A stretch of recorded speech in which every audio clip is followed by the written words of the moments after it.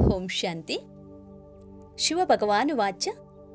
ಪ್ರಾತಃ ಮುರುಳಿ, ದಿನಾಂಕ ನಾಲ್ಕು ಹನ್ನೊಂದು ಎರಡು ಸಾವಿರದ ಇಪ್ಪತ್ತು, ಬಾಪ್ತಾದ ಮಧುಬನ್.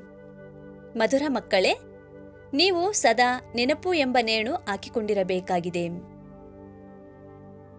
ಅಂದರೆ, ತಂದೆಯ ನೆನಪಿನಲ್ಲಿಯೇ ನಿರತರಾಗಿರಬೇಕು, ಮಗ್ನರಾಗಿರಬೇಕು. ಏಕೆಂದರೆ, ತಂದೆಯ ನೆನಪಿನಿಂದನೇ ಆತ್ಮವು ಸತ್ಯ ಚಿನ್ನ ಆಗುವುದು. ಪ್ರಶ್ನೆ. ಯಾವ ಬಲವು ವಿಕಾರಿ ದೃಷ್ಟಿಯನ್ನು ಕೂಡಲೇ ಪರಿವರ್ತನೆ ಮಾಡಿಬಿಡುತ್ತದೆ? ಉತ್ತರ ಆಗಿದೆ. ಆತ್ಮದಲ್ಲಿ ಯಾವಾಗ ಜ್ಞಾನದ ಮೂರನೇ ನೇತ್ರದ ಬಲ ಬಂದು ಬಿಡುತ್ತದೆಯೋ ಆಗ ವಿಕಾರಿತನವು ಸಮಾಪ್ತಿಯಾಗಿ ಬಿಡುತ್ತದೆ ತಂದೆಯ ಶ್ರೀಮತವಾಗಿದೆ. ಮಕ್ಕಳೇ, ನೀವೆಲ್ಲರೂ ಕೂಡ ಪರಸ್ಪರ ಸಹೋದರ ಸಹೋದರರಾಗಿದ್ದೀರಾ? ಸಹೋದರ ಸಹೋದರಿಯರಾಗಿದ್ದೀರಾ? ನಿಮ್ಮ ದೃಷ್ಟಿ ಎಂದೂ ಕೂಡ ವಿಕಾರಿಯಾಗಲು ಸಾಧ್ಯವಿಲ್ಲ. ನೀವು ಸದಾ ತಂದೆಯ ನೆನಪಿನ ಮಸ್ತಿಯಲ್ಲಿ ಮಗ್ನರಾಗಿರಬೇಕು. ವಾಹ್, ನನ್ನ ಅದೃಷ್ಟವೇ ವಾಹ್ ವಾಹ್ ಎಂದು ಮಹಿಮೆ ಮಾಡಿಕೊಳ್ಳುತ್ತಿರಬೇಕು. ನಮಗೆ ಭಗವಂತನೇ ಓದಿಸುತ್ತಿದ್ದಾರೆ. ಹೀಗೆ ತಮ್ಮಲ್ಲಿ, ನಮ್, ತಮ್ಮ ಮನದಲ್ಲಿ ವಿಚಾರ ಮಾಡಿದಾಗ ಸದಾ ಖುಷಿ ಮತ್ತೆ ನಶಿಯು ಬರುತ್ತದೆ. ಓಂ ಶಾಂತಿ. ಮಧುರಾತಿ ಮಧುರ ಆತ್ಮಿಕ ಮಕ್ಕಳ ಪ್ರತಿಯಾಗಿ ಆತ್ಮಿಕ ಶಿವ ತಂದೆಯು ತಿಳಿಸುತ್ತಿದ್ದಾರೆ. ಮಕ್ಕಳಿಗೆ ಗೊತ್ತಾಗುತ್ತಿದೆ ಆತ್ಮಿಕ ತಂದೆಯೂ ಸಹ ಆತ್ಮನೇ ಆಗಿದ್ದಾರೆ. ಆದರೆ ಅವರು ಸಂಪೂರ್ಣ ಜ್ಞಾನಪೂರ್ಣರಾಗಿದ್ದಾರೆ. ಅವರಲ್ಲಿ ಯಾವುದೇ ತುಕ್ಕು ಹಿಡಿಯುವುದಿಲ್ಲ. ಶಿವತಂದೆಯು ಕೇಳುತ್ತಾರೆ, ನನ್ನಲ್ಲಿ ತುಕ್ಕು ಇದೆಯೇ? ಇಲ್ಲವೇ ಇಲ್ಲ. ಈ ದಾದಾರವರಲ್ಲಿ ತುಕ್ಕು ಹಿಡಿದಿತ್ತು. ಇವರಲ್ಲಿ ತಂದೆಯು ಪ್ರವೇಶ ಮಾಡುವುದರಿಂದ ಸಹಯೋಗವೂ ಸಿಗುತ್ತದೆ.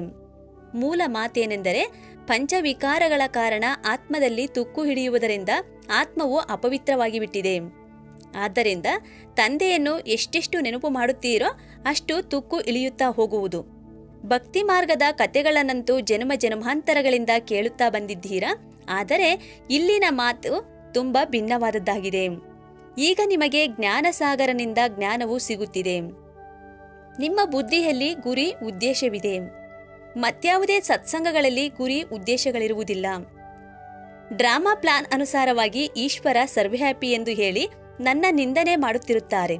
ಮನುಷ್ಯರು ಇದನ್ನು ಸಹ ತಿಳಿದುಕೊಳ್ಳುವುದಿಲ್ಲ. ಇದು ಡ್ರಾಮಾ ಆಗಿದೆ. ಇದರಲ್ಲಿ ರಚಯಿತ, ನಿರ್ದೇಶಕನು ಸಹ ಡ್ರಾಮಾದಲ್ಲಿ ಬಂಧಿತರಾಗಿದ್ದಾರೆ. ಬಲೆ ಸರ್ವಶಕ್ತಿವಂತ ಎಂದು ಗಾಯನವನ್ನು ಮಾಡಲಾಗುತ್ತದೆ. ಆದರೆ ನಿಮಗೆ ಈಗ ತಿಳಿದಿದೆ, ಅಂತಹ ಶಿವತಂದೆಯೂ ಸಹ ಡ್ರಾಮಾದ ಪಟ್ಟಿಯ ಮೇಲೆ ನಡೆಯುತ್ತಿದ್ದಾರೆ ಎಂದು. ತಂದೆಯೇ ಸ್ವಯಂ ಬಂದು ತಿಳಿಸಿಕೊಡುತ್ತಾರೆ.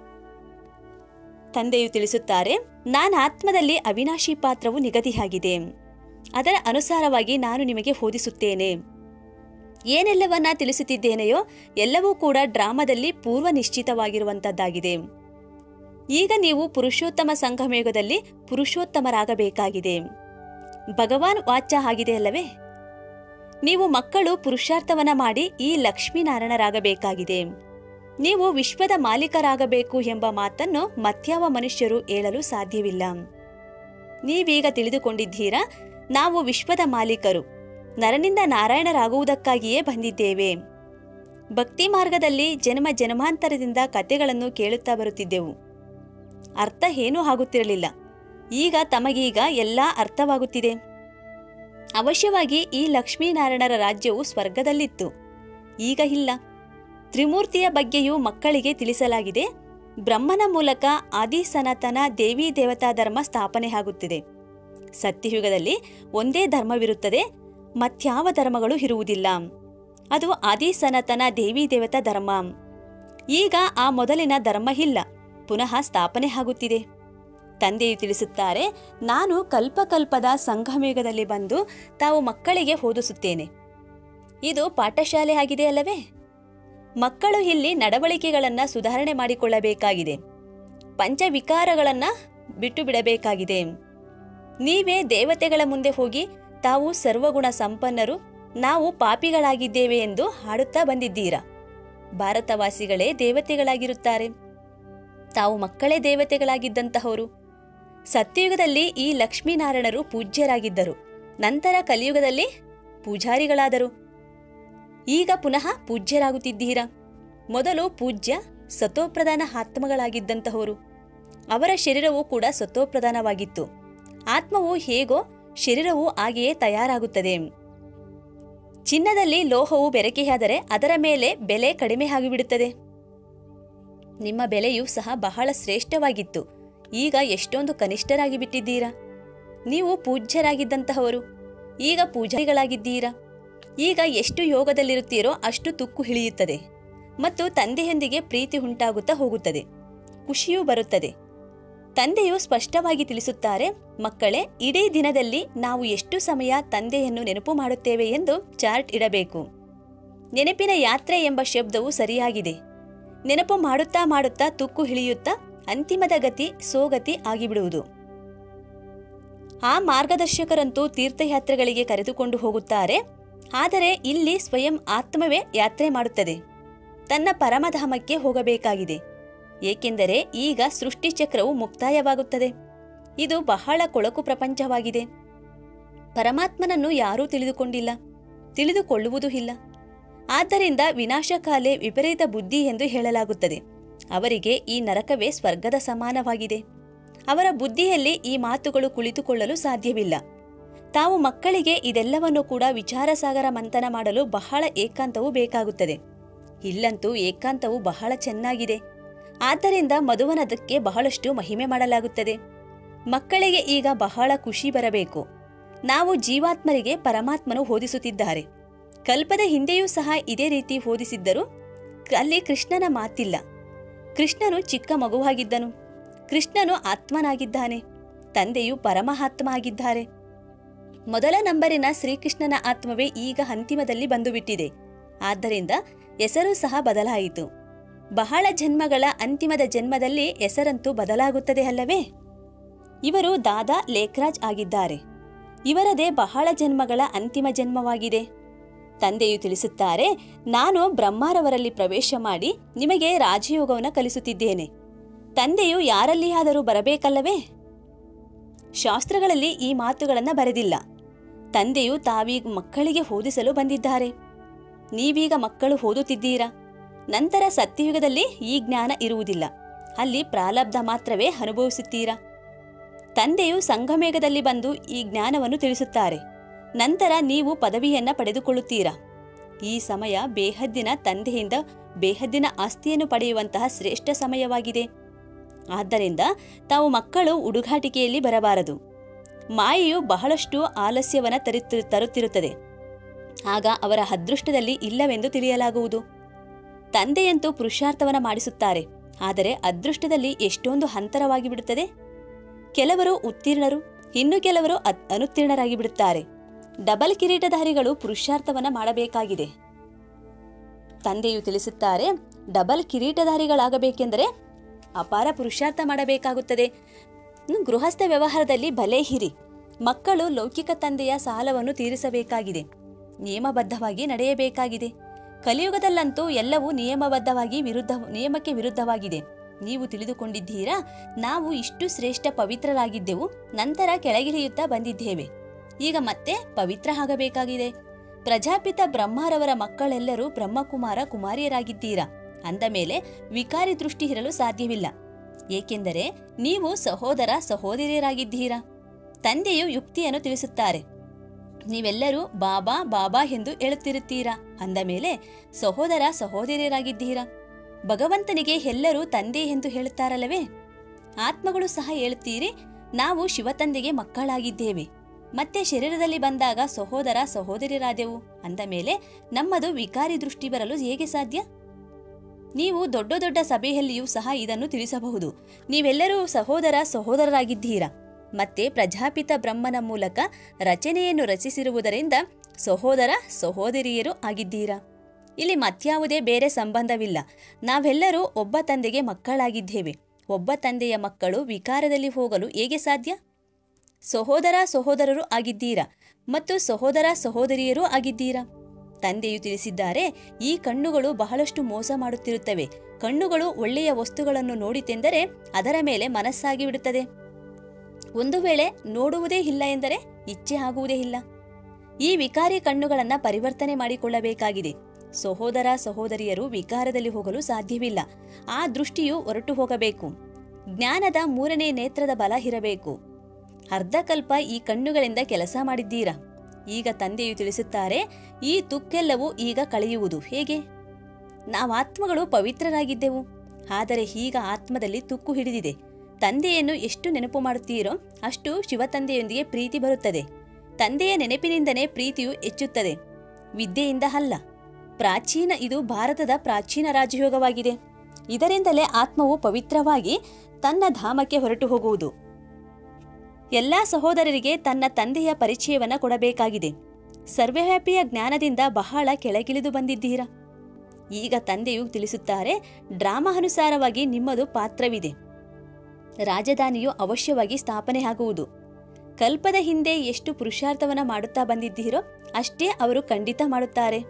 ನೀವು ಸಾಕ್ಷಿಯಾಗಿ ನೋಡುತ್ತಾ ಇರಿ. ಈ ಚಿತ್ರ ಪ್ರದರ್ಶನಗಳು ಮೊದಲಾದವುಗಳನ್ನು ಬಹಳ ನೋಡುತ್ತಾ ಇರುತ್ತಾರೆ. ನೋಡುತ್ತಿರುತ್ತೀರಾ? ನಿಮ್ಮದು ಈಶ್ವರಿಯ ಮಿಷನ್ ಆಗಿದೆ. ಇದು ನಿರಾಕಾರ ಪರಮಪಿತ ಪರಮಾತ್ಮನ ಮಿಷನ್ ಆಗಿದೆ. ಅವರದು ಕ್ರಿಶ್ಚಿಯನ್ ಮಿಷನ್, ಬೌದ್ಧಿ ಮಿಷನ್ ಇರುತ್ತದೆ. ಹಾಗೆಯೇ ಇದು ನಿರಾಕಾರ, ಈಶ್ವರಿಯ ಮಿಷನ್ ಆಗಿದೆ. ನಿರಾಕಾರನು ಅವಶ್ಯವಾಗಿ ಯಾಶ್, ಯಾವ ಶರೀರದಲ್ಲಿಯಾದರೂ ಬರಬೇಕಲ್ಲವೇ? ಹ್ಮ್? ನೀವು ಸಹ ನಿರಾಕಾರ ಆತ್ಮಗಳು ನನ್ನ ಜೊತೆಯಲ್ಲಿದ್ದೀರಾ? ಈ ಡ್ರಾಮಾ ನೋಡಿ ಹೇಗಿದೆ? ಇದು ಯಾರ ಬುದ್ಧಿಯಲ್ಲಿಯೂ ಬರುವುದಿಲ್ಲ. ರಾವಣನ ರಾಜ್ಯದಲ್ಲಿ ಎಲ್ಲರೂ ವಿಪರೀತ ಬುದ್ಧಿಯವರಾಗಿ ಬಿಟ್ಟಿದ್ದಾರೆ. ಈಗ ಶಿವತಂದೆಯೊಂದಿಗೆ ಪ್ರೀತಿಯನ್ನು ಇಡಬೇಕಾಗಿದೆ ನಿಮ್ಮ ಪ್ರತಿಜ್ಞೆ ಆಗಿದೆ? ನನ್ನವರು ಒಬ್ಬ ತಂದೆಯ ವಿನಃ ಮತ್ಯಾರೂ ಇಲ್ಲ. ಅಂದ ಮೇಲೆ ನಷ್ಟಮೋಹಿಗಳಾಗಬೇಕಾಗಿದೆ. ಇದರಲ್ಲಿಯೇ ಪರಿಶ್ರಮವಿದೆ. ಇದು ಹೇಗೆ ನೆನಪು ಎನ್ನುವ ನೇಣು ಸದಾ ಹಾಕಿಕೊಂಡಿರಬೇಕಾಗಿದೆ. ತಂದೆಯನ್ನು ನೆನಪು ಮಾಡುವುದು ಎಂದರೆ ನೆನಪು ಎನ್ನುವ ನೇಣಿನಲ್ಲಿಯೇ ಇರುವುದಾಗಿದೆ. ಅಂದರೆ ತಂದೆಯ ನೆನಪಿನಲ್ಲಿಯೇ ನಿರತರಾಗಿರಬೇಕು. ಶರೀರವನ್ನು ಮರೆತು ಆತ್ಮವು ತಂದೆಯ ನೆನಪಿನಲ್ಲಿಯೇ ಹೊರಟು ಹೋಗಬೇಕಾಗಿದೆ. ತಂದೆಯ ನೆನಪು ಬಹಳ ಅವಶ್ಯಕವಾಗಿದೆ. ಇಲ್ಲವೆಂದರೆ ತುಕ್ಕು ಹೇಗೆ ಇಳಿಯಲು ಸಾಧ್ಯ? ಮಕ್ಕಳಲ್ಲಿ ನಮಗೆ ಶಿವತಂದೆಯೇ ಓದಿಸುತ್ತಿದ್ದಾರೆ ಎಂದು ಬಹಳ ಖುಷಿ ಬರಬೇಕು. ಯಾರಾದರೂ ಕೇಳಿಸಿಕೊಂಡರೆ ಇವರೇನು ಹೇಳುತ್ತಾರೆ ಎಂದುಕೊಳ್ಳುತ್ತಾರೆ, ಏಕೆಂದರೆ ಅವರು ಕೃಷ್ಣನನ್ನೇ ಭಗವಂತ ಎಂದು ತಿಳಿಯುತ್ತಾರೆ. ನಾವೀಗ ಕೃಷ್ಣನ ರಾಜಧಾನಿಯಲ್ಲಿ ಹೋಗುತ್ತೇವೆ. ನಾವು ರಾಜಕುಮಾರ ಕುಮಾರಿಯರಾಗುತ್ತೇವೆ ಎಂದು ಈಗ ನೀವು ಮಕ್ಕಳಿಗೆ ಬಹಳ ಖುಷಿ ಬರಬೇಕಾಗುತ್ತದೆ. ಕೃಷ್ಣನು ಮೊದಲ ರಾಜಕುಮಾರನಾಗಿರುತ್ತಾರೆ. ಮನೆಯಲ್ಲಿರುತ್ತಾರೆ ನಂತರದಲ್ಲಿ ಯಾವ ಮಕ್ಕಳು ಜನ್ಮ ಪಡೆಯುತ್ತಾರೋ ಅವರು ತಡವಾಗಿ ಬರುತ್ತಾರಲ್ಲವೇ? ಜನ್ಮವು ಸ್ವರ್ಗದಲ್ಲಿಯೇ ಆಗುವುದು. ನೀವು ಸಹ ಸ್ವರ್ಗದಲ್ಲಿ ರಾಜಕುಮಾರ ಕುಮಾರಿಯರಾಗಿರುತ್ತೀರಾ? ಎಲ್ಲರೂ ಮೊದಲ ನಂಬರಿನಲ್ಲಿಯೇ ಬರುವುದಿಲ್ಲ. ನಂಬರ್ ವಾರ್ ಮಾಲೆಯಾಗುತ್ತದೆ. ತಂದೆಯು ತಿಳಿಸುತ್ತಾರೆ, ಮಕ್ಕಳೇ, ಹೆಚ್ಚಿನ ಪುರುಷಾರ್ಥವನ್ನ ಮಾಡಿ. ನೀವಿಲ್ಲಿ ನರನಿಂದ ನಾರಾಯಣರಾಗಲು ಬಂದಿದ್ದೀರಾ? ಇದು ಸತ್ಯ ಸತ್ಯ ನಾರಾಯಣನ ಸತ್ಯನಾರಾಯಣನ ಕತೆ. ಸತ್ಯಲಕ್ಷ್ಮಿಯ ಕತೆ ಎಂದು ಕಥೆಯನ್ನೆಂದೂ ಕೇಳಿರುವುದಿಲ್ಲ. ಸತ್ಯನಾರಾಯಣನ ಕಥೆಯಾಗಿದೆ. ಎಲ್ಲರಿಗೂ ಕೃಷ್ಣನ ಮೇಲೆ ಪ್ರೀತಿ ಇದೆ. ಕೃಷ್ಣನನ್ನೇ ಹುಯ್ಯಾಲೆಯಲ್ಲಿ ತೂಗುತ್ತಾರೆ. ರಾಧೆಯನ್ನು ಹೇಗೆ ತೂಗುವುದಿಲ್ಲ? ಡ್ರಾಮಾ ಪ್ಲಾನ್ ಅನುಸಾರ ಅವರ ಹೆಸರೇ ನಡೆದು ಬರುತ್ತದೆ ನಿಮ್ಮ ಜೊತೆಗಾರ ರಾಧೆ ಹೇಗಿದ್ದಾಳೆ ಆದರೂ ಸಹ ಪ್ರೀತಿಯು ಕೃಷ್ಣನೊಂದಿಗಿದೆ. ಡ್ರಾಮಾದಲ್ಲಿ ಅವರ ಪಾತ್ರವು ಹೀಗೆ ಮಾಡಲ್ಪಟ್ಟಿದೆ. ಮಕ್ಕಳು ಯಾವಾಗಲೂ ಪ್ರಿಯ ಎನಿಸುತ್ತಾರೆ. ತಂದೆಯು ಮಕ್ಕಳನ್ನು ನೋಡಿ ಬಹಳ ಖುಷಿ ಪಡುತ್ತಾರೆ. ಮಗನಾದರೆ ಖುಷಿಯಾಗುವುದು. ಮಗಳಾದರೆ ಗುಟುಕುರಿಸಿರುತ್ತಾರೆ ಗುಟುಕರಿಸುತ್ತಿರುತ್ತಾರೆ. ಕೆಲವರಂತೂ ಸಾಯಿಸಿ ಬಿಡುತ್ತಾರೆ. ಇದು ರಾವಣನ ರಾಜ್ಯ. ರಾವಣನ ರಾಜ್ಯದಲ್ಲಿ ನಡವಳಿ, ನಡವಳಿಕೆಯಲ್ಲಿ ಎಷ್ಟೊಂದು ಅಂತರವಾಗಿ ಬಿಡುತ್ತದೆ ನೋಡಿ. ತಾವು ಸರ್ವಗುಣಗಳ ಸಂಪನ್ನರು. ನಾವು ನಿರ್ಗುಣರಾಗಿದ್ದೇವೆ ಎಂದು ಹಾಡುತ್ತಾರೆ. ಈಗ ತಂದೆಯು ತಿಳಿಸುತ್ತಾರೆ, ಮಕ್ಕಳೇ, ಪುನಃ ಇಂತಹ ಗುಣವಂತರಾಗಿ. ನಾವು ಅನೇಕ ಬಾರಿ ವಿಶ್ವದ ಮಾಲೀಕರಾಗಿದ್ದೆವು ಎಂದು ತಿಳಿದುಕೊಳ್ಳುತ್ತೀರಾ? ಈಗ ಪುನಃ ಆಗಬೇಕಾಗಿದೆ. ನೀವು ಮಕ್ಕಳಿಗೆ ಬಹಳ ಖುಷಿ ಇರಬೇಕು ಹೋಹೋ ನಮಗೆ ಶಿವತಂದೆಯು ಓದಿಸುತ್ತಾರೆ. ಕುಳಿತು ಇದನ್ನೇ ಚಿಂತನೆ ಮಾಡುತ್ತಿರಬೇಕು. ಭಗವಂತನು ನಮಗೆ ಓದಿಸುತ್ತಿದ್ದಾರೆ. ವಾಹ್ ನನ್ನ ಅದೃಷ್ಟವೇ, ವಾಹ್ ವಾಹ್ ಎಂದು ಮಹಿಮೆ ಮಾಡಿಕೊಳ್ಳುತ್ತಿರಬೇಕು. ಹೀಗೆ ವಿಚಾರ ಮಾಡುತ್ತಾ ಮಾಡುತ್ತಾ ತಂದೆಯ ನೆನಪಿನಲ್ಲಿ ಮಸ್ತರಾಗಿ ಕುಳಿತು ಬಿಡಬೇಕು ವಾಹ್ ಅದೃಷ್ಟವೇ, ವಾಹ್. ಬೇಹದ್ದಿನ ತಂದೆಯು ನಮಗೆ ಸಿಕ್ಕಿದ್ದಾರೆ. ನಾವು ತಂದೆಯನ್ನೇ ನೆನಪು ಮಾಡುತ್ತೇವೆ. ಪವಿತ್ರತೆಯ ಧಾರಣೆ ಮಾಡಿಕೊಳ್ಳಬೇಕಾಗಿದೆ. ನಾವೇ ದೈವಿ ಗುಣಗಳನ್ನು ಧಾರಣೆ ಮಾಡಿ ಇವರ ಸಮಾನರಾಗುತ್ತೇವೆ. ಇದು ಮನ್ಮನಾಭವ ಆಗಿದೆ ಅಲ್ಲವೇ? ತಂದೆಯು ನಮ್ಮನ್ನು ಇಷ್ಟು ಶ್ರೇಷ್ಠರನ್ನಾಗಿ ಮಾಡುತ್ತಾರೆ, ಇದು ಪ್ರತ್ಯಕ್ಷ ಅನುಭವದ ಮಾತುಗಳಾಗಿದೆ. ತಂದೆಯು ಮಧುರಾತಿ ಮಧುರ ಮಕ್ಕಳಿಗೆ ಸಲಹೆ ನೀಡುತ್ತಾರೆ, ಮಕ್ಕಳೇ ಚಾರ್ಟ್ ಇಡಬೇಕು. ಮತ್ತು ಏಕಾಂತದಲ್ಲಿ ಕುಳಿತು ಹೀಗೆ ತಮ್ಮೊಂದಿಗೆ ತಾವು ಮಾತನಾಡಿಕೊಳ್ಳುತ್ತಿರಬೇಕು. ಈ ಬ್ಯಾಡ್ಜ್ ಅನ್ನು ಹೃದಯದ ಮೇಲೆ ಹಾಕಿಕೊಳ್ಳಿರಿ. ನಾವು ಭಗವಂತನ ಶ್ರೀಮತದಂತೆ ಈ ರೀತಿ ಆಗುತ್ತಿದ್ದೇವೆ ಎಂದು ನೋಡಿ ನೋಡಿ ಪ್ರೀತಿ ಮಾಡುತ್ತಾ ಇರಬೇಕು. ತಂದೆಯ ನೆನಪಿನಿಂದ ನಾವು ಈ ರೀತಿ ಆಗುತ್ತೇವೆ. ಬಾಬಾ ತಮ್ಮದು ಕಮಾಲ್ ಆಗಿದೆ. ಬಾಬಾ, ತಾವು ನಮ್ಮನ್ನು ವಿಶ್ವದ ಮಾಲೀಕರನ್ನಾಗಿ ಮಾಡುತ್ತೀರಾ ಎಂದು ನಮಗೆ ಮೊದಲು ತಿಳಿದೇ ಇರಲಿಲ್ಲ. ನೌದಾ ಭಕ್ತಿಯಲ್ಲಿ ದರ್ಶನಕ್ಕೋಸ್ಕರ ತಲೆಯನ್ನು ಕತ್ತರಿಸಿಕೊಳ್ಳಲು ಪ್ರಾಣ ತ್ಯಾಗ ಮಾಡುವುದಕ್ಕೂ ತ್ಯಾಗ ಮಾಡಿಬಿಡುತ್ತಾರೆ. ಆಗ ದರ್ಶನವಾಗುತ್ತದೆ. ಅಂತಹವರದೇ ಭಕ್ತಮಾಲೆಯ ತಯಾರಾಗಿದೆ. ಭಕ್ತರಿಗೆ ಮಾನ್ಯತೆಯೂ ಕೂಡ ಇದೆ. ಆದರೆ ಕಲಿಯುಗದ ಭಕ್ತರಂತೂ ಹೇಗೆ ಚಕ್ರವರ್ತಿಗಳಾಗಿದ್ದಾರೆ? ಈಗ ತಾವು ಮಕ್ಕಳಿಗೆ ಬೇಹದ್ದಿನ ಶಿವತಂದೆಯ ಜೊತೆ ಪ್ರೀತಿ ಇದೆ. ಒಬ್ಬ ತಂದೆಯ ವಿನಃ ಮತ್ಯಾರು ನಿಮಗೆ ನೆನಪಿಗೆ ಬರಬಾರದು. ಒಮ್ಮೆಲೆ ನಿಮ್ಮ ಬುದ್ಧಿಯೋಗವು ಸ್ಪಷ್ಟವಾಗಿ ತಂದೆಯ ಕಡೆಗೆ ಇರಬೇಕು. ಈಗ ನಮ್ಮ ಎಂಬತ್ನಾಲ್ಕು ಜನ್ಮಗಳು ಪೂರ್ಣವಾಯಿತು. ನಾವೀಗ ತಂದೆಯ ಆದೇಶದಂತೆ ಪೂರ್ಣ ರೀತಿಯಲ್ಲಿ ನಡೆಯುತ್ತೇವೆ. ಕಾಮ ಮಹಾಶತ್ರುವಾಗಿದೆ. ಅದರಿಂದ ಸೋಲನ್ನು ಅನುಭವಿಸಬಾರದು. ಸೋಲನ್ನು ಅನುಭವಿಸಿ ಮತ್ತೆ ಪಶ್ಚಾತ್ತಾಪ ಪಡುವ ಪಶ್ಚಾತ್ತಾಪವನ್ನೇಕೆ ಪಡುತ್ತೀರಾ? ಸೋಲನ್ನು ಅನುಭವಿಸಿದರೆ ಒಮ್ಮೆಲೆ ಮೂಳೆಗಳು ಪುಡಿಪುಡಿ ಆಗುತ್ತವೆ, ಅಂದರೆ ಬಹಳ ಕಠಿಣ ಶಿಕ್ಷೆ ಸಿಗುತ್ತದೆ. ತುಕ್ಕು ಇಳಿಯುವ ಬದಲು ಇನ್ನೂ ಹೆಚ್ಚಾಗಿ ಏರತೊಡಗುತ್ತದೆ. ಯೋಗವು ಇಡಿಸುವುದಿಲ್ಲ, ನೆನಪಿನಲ್ಲಿರುವುದು ಬಹಳ ಪರಿಶ್ರಮವಾಗಿದೆ. ನಾವಂತೂ ತಂದೆಯ ನೆನಪಿನಲ್ಲೇ ಇರುತ್ತೇವೆಂದು ಕೆಲವರು ಅರಟೆ ಹೊಡೆಯುತ್ತಾರೆ, ಆದರೆ ಅವರು ನೆನಪು ಮಾಡುವುದಿಲ್ಲ ಎಂದು ತಂದೆಗೆ ಗೊತ್ತಿದೆ. ಇದರಲ್ಲಿ ಮಾಯೆಯ ಬಹಳ ಬಿರುಗಾಳಿಯೂ ಬರುತ್ತಿರುತ್ತದೆ. ಇಂತಹ ಸ್ವಪ್ನಗಳು ಬರುತ್ತವೆ, ಒಮ್ಮೆಲೆ ಬೇಸರಗೊಳಿಸುತ್ತವೆ. ಜ್ಞಾನವಂತೂ ಬಹಳ ಸಹಜವಾಗಿದೆ. ಚಿಕ್ಕ ಮಕ್ಕಳು ಸಹ ತಿಳಿಸಿಕೊಡಬಹುದು. ಆದರೆ ನೆನಪಿನ ಯಾತ್ರೆಯಲ್ಲಿಯೇ ಬಹಳ ಗೊಂದಲವಿದೆ. ನಾವು ಸರ್ವಿಸ್ ಮಾಡುತ್ತೇವೆ ಎಂದು ಖುಷಿಯಾಗಿ ಬಿಡಬೇಡಿ. ತಮ್ಮ ನೆನಪಿನ ಗುಪ್ತ ಸರ್ವಿಸ್ ಮಾಡಿಕೊ ಮಾಡುತ್ತಾ ಇರಬೇಕು. ನೆನಪಿನ ಗುಪ್ತ ಸರ್ವಿಸ್ ಅನ್ನು ಮಾಡುತ್ತಾ ಇರಿ. ಇವರಿಗಂತೂ ಬ್ರಹ್ಮರವರಿಗೆ ಬಹಳಷ್ಟು ನಶೆ ಇರುತ್ತದೆ. ನಾನು ಶಿವತಂದೆಗೆ ಒಬ್ಬನೇ ಮಗನಾಗಿದ್ದೇನೆ. ತಂದೆಯು ವಿಶ್ವದ ರಚಯಿತನಾಗಿದ್ದಾರೆ ಅಂದ ಮೇಲೆ, ನಾನು ಸಹ ಖಂಡಿತ ಸ್ವರ್ಗದ ಮಾಲೀಕನಾಗುತ್ತೇನೆ, ರಾಜಕುಮಾರನಾಗಲಿದ್ದೇನೆ. ಈ ಆಂತರಿಕ ಖುಷಿ ಇರಬೇಕು. ಆದರೆ ನೀವು ಮಕ್ಕಳು ಎಷ್ಟು ತಂದೆಯ ನೆನಪಿನಲ್ಲಿರುತ್ತೀರೋ ಅಷ್ಟು ನಾನಿರುವುದಿಲ್ಲ. ಏಕೆಂದರೆ ಬಹಳಷ್ಟು ಆಲೋಚನೆ ಮಾಡಬೇಕಾಗುತ್ತದೆ. ತಂದೆಯು ದೊಡ್ಡ ವ್ಯಕ್ತಿಗಳಿಗೆ ಏಕೆ ಇಷ್ಟೊಂದು ಉಪಚಾರ ಮಾಡುತ್ತಾರೆ ಎಂದು ಮಕ್ಕಳಿಗೆಂದೂ ಈರ್ಷ್ಯೆ ಬರಬಾರದು.